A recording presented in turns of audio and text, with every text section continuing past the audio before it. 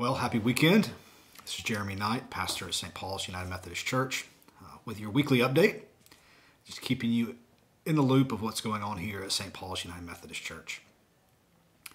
Uh, in just a couple of uh, short hours, um, a small crew of us are going to be going to celebrate the wonderful work and character and all around awesome person that Elizabeth Kaiser is who serves as our treasurer and our church administrator. As uh, this week we are reminded, those of you that work in an office setting, of just how valuable um, the administrative folks that work behind the scenes are. And so we're going to do that today for lunch. It's just a small token to appreciate all that Elizabeth does. And when you see her uh, in the coming weeks, would you let her know how grateful you are for her incredible work? Much of which happens behind the scenes to make sure that this beautiful place uh, keeps chugging right along and does so in beautiful ways. So we are so grateful. Uh, we've got a lot of things happening over the next several weeks that you may have already heard of. But we want to make sure that you are totally clear on uh, a couple of the facts and some of the things that we want you to really be here for and to be aware of. Um, we have three special Sundays in a row, actually, starting this Sunday with UWF Sunday, um, United Women in Faith, our local station here, will be leading us in all facets of worship. We look very much forward to those ladies uh, exemplifying service for us, and are so grateful for their ongoing um, just ministry among us and how much they really help us as a church uh, serve one another and serve our neighbors. And so they'll be leading. And then right after the service this Sunday, um, we're going to have a quick yearly check in for everyone that works with children or youth on our campus, as well as anyone that has a key to any of our buildings.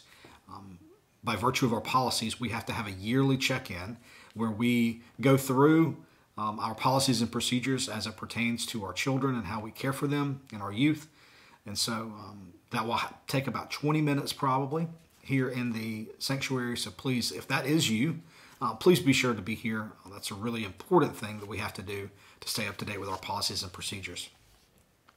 Um, and I forgot to mention, shame on me, that as a part of UWF Sunday, uh, this is also Undy Sunday. And I know this has happened here for several years now, but um, you're asked to bring or to donate um, underwear and or socks this year uh, to be distributed to a couple of our mission partners. And so the UWF do this each year, and so this year is no different, Undy Sunday, and I pray that you, if you haven't already brought in some of those items, that you would consider doing so Sunday when you arrive.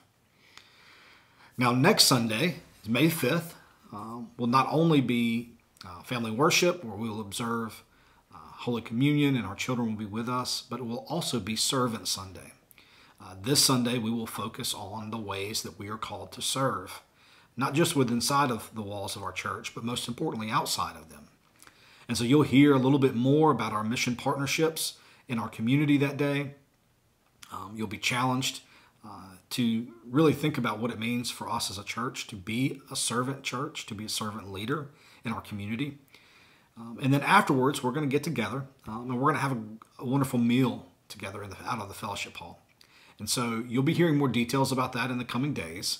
Uh, so just know that that's coming on May the 5th, and we want you all to be there. It's going to be a great, great day together. And then the third and final special Sunday here in a row will be May the 12th, which happens to fall on Mother's Day. Not only will we honor our mothers that day, but we will also uh, recognize our graduating seniors. We have four graduating seniors that are connected to St. Paul's, and so that day, uh, most of them will be with us, and we'll honor them. Um, and in anticipation of that, many of you are already aware, we offer them a brand new Bible when they graduate. And those Bibles are actually um, already out in the narthex uh, next to a placard with each of those students' names. And we're asking you between now and May the 12th to come by uh, to sign the inside cover of one of those Bibles, um, to share a word of wisdom, perhaps a possible uh, favorite scripture that you may have. Uh, to share with those wonderful, wonderful young people that will be graduating high school in the coming weeks. All right? Uh, so, really cool things happening all in the next three weeks. Uh, I hope that you will make it a priority to be with us as we uh, continue to do life together, uh, continue to build the kingdom by building disciples and uh, and love and serve our neighbors. All right.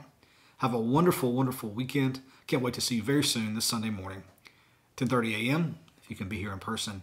If you can't make it, we'll be online, of course, at our Facebook channel, uh, Facebook page, excuse me, and our YouTube channel. All right. Grace and peace to you all. Have a wonderful, wonderful weekend.